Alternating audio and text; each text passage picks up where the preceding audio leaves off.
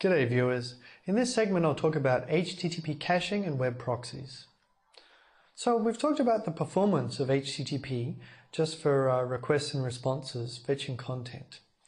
Um, HTTP caching is an important technique which can be used to improve performance by enabling the local reuse of content. And in this segment I'm going to tell you how it works. So the motivation for web caching is that users often revisit the same page. They're looking at the same content. When this is the case, there's a big win that's waiting to be had by simply reusing the local copying. That is, if you remember what the page looked like the last time you visited it yesterday and it hasn't changed today, or most of it is the same, such as many of the images, because the site looks the same, then we can reuse all of that and avoid transferring that content over the network. This is called caching.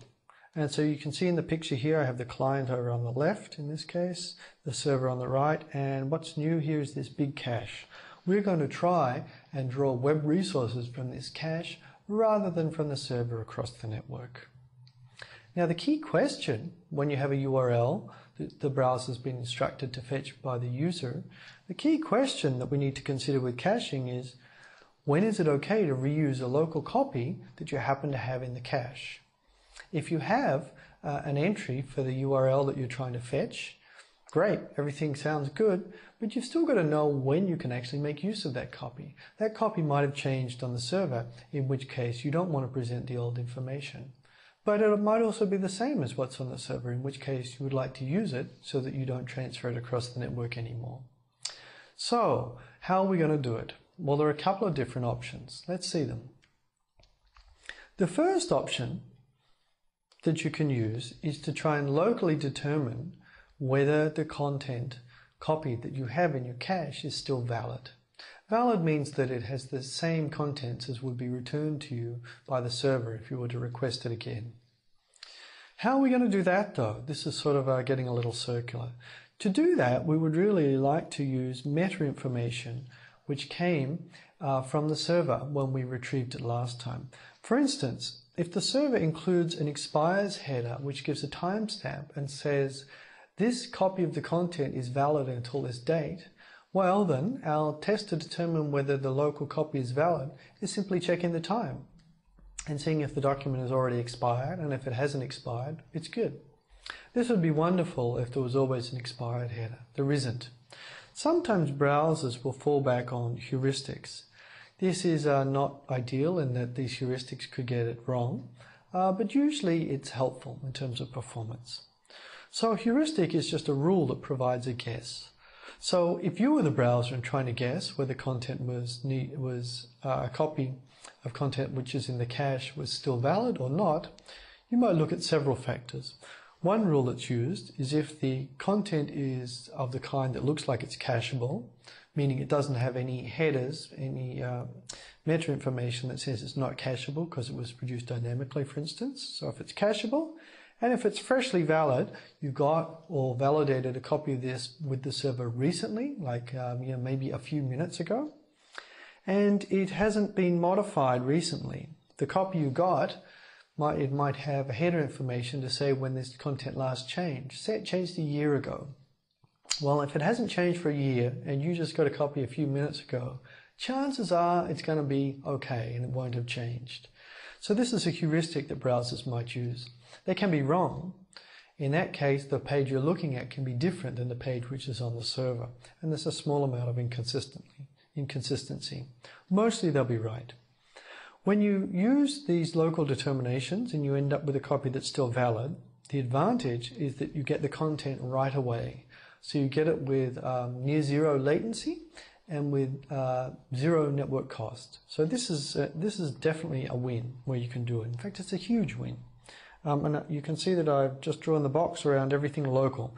The cache and the client are all local behavior, so the network's not even involved here. It's it's in terms of cutting down on network usage, it's the best we can do. But even when we can't locally revalidate the copy because we don't have an expires header and we're unwilling to guess, there's also a, there's, there's a second strategy we can use which can greatly help by reducing the amount of information we send over the network. And that is to revalidate the copy with the remote server. Revalidating the copy involves talking to the remote server and asking them if the copy you have is still valid.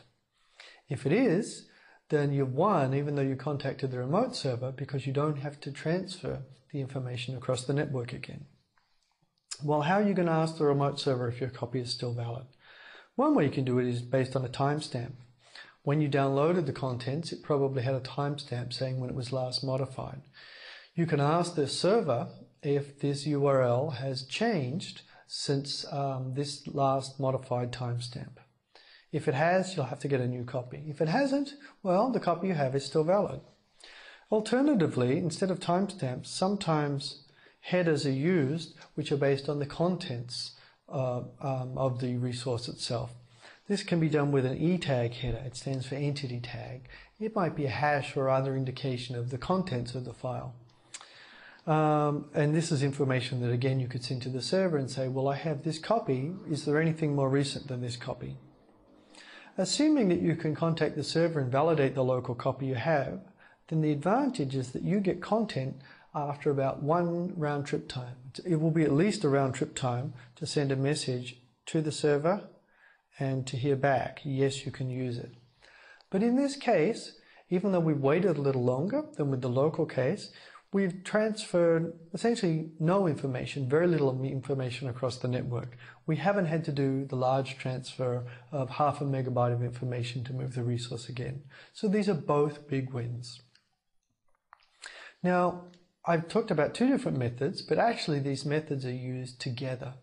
So here's what it looks like when you put these different pieces together. Here's the sequence for a user trying to browse a URL, and if possible, we'd like to use cache copies. So first of all, we get the request when they type something into their browser. What you can do first is perform a local check on your cache. This is checking the expiry. Do we have a valid local copy?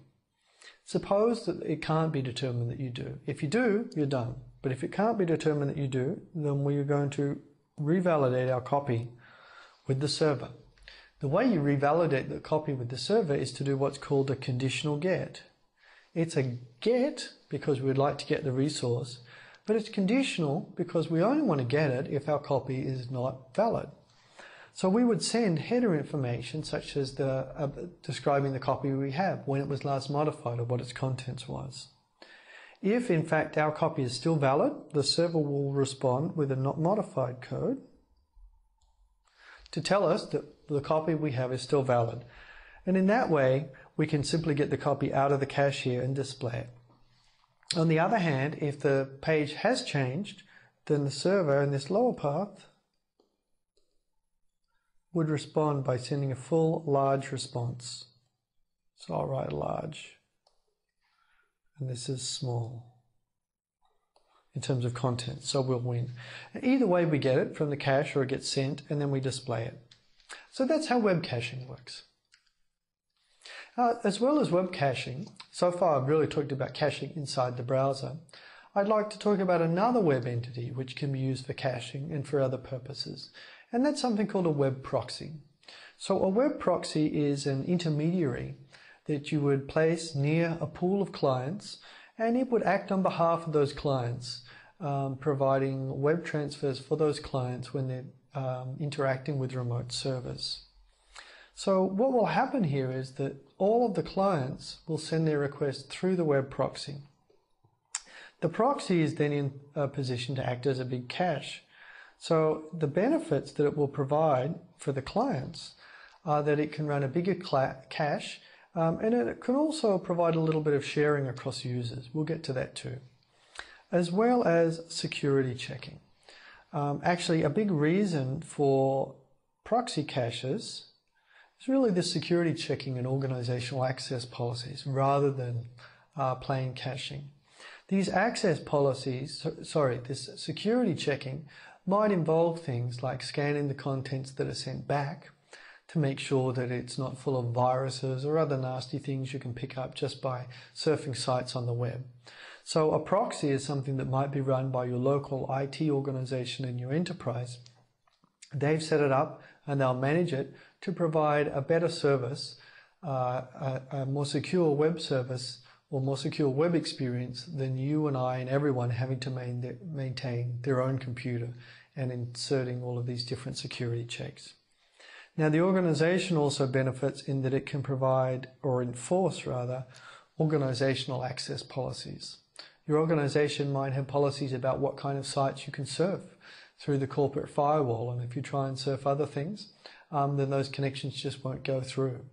Um, your organization might even have policies about what information you can send outside of the company just to try and prevent confidential information from leaking. So proxies perform all of these different um, services, and this is why they're sort of useful from an IT perspective. The reason we're mentioning them now is because of this caching role. A proxy provides um, a local point um, at which caching can be provided for a pool of clients. This provides a few benefits for the clients. So first of all, the size of a cache at a proxy can typically be larger than at individual clients because it's probably a more powerful machine that's been set up and is managed by your IT organization.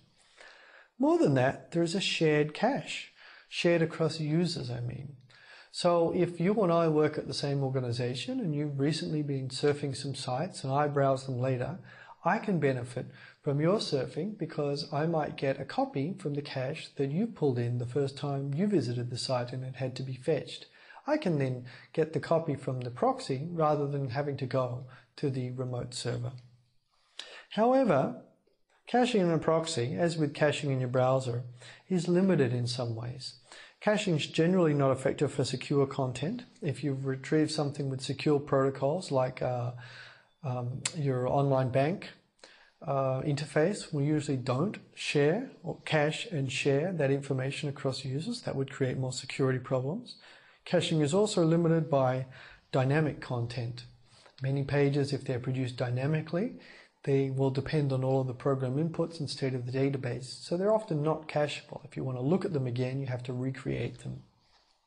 And caching is also uh, limited by what we call the long tail, in that while there's some popular content that can be cached well, there's a very large number of unpopular pages, and these comprise a, a significant fraction of usage, usage that caches can't do much about. So let's see how web proxies really work just with this picture. So you can see here, I have the pool of clients here. Here are all the clients here. and um, they might also have all of their browser caches already. They could get a hit on that and that would short circuit things. But if they're trying to request things that they can't satisfy from their browser cache, what they will do is they will send all of their requests to the proxy. So the client needs to be configured not to talk to remote service directly, but to send all of its requests to the proxy. All of your web browsers have built-in functionality for doing this. The proxy will then be able to consult its cache in much the same way as you would check a browser cache, um, and it will be able to share the contents of this cache across users when there are no security issues. And if you miss in the proxy cache, then you'll have to go all of the way to a remote server and back. Now, since the proxy is close to you, it's really within your organization, you would expect to get a much faster hit if you simply request content from that proxy and it's able to supply it locally, they're going out to the internet. So that's a proxy, a web proxy, and it's providing another level of caching, uh, as well as all of these other kinds of filtering to provide a better web experience.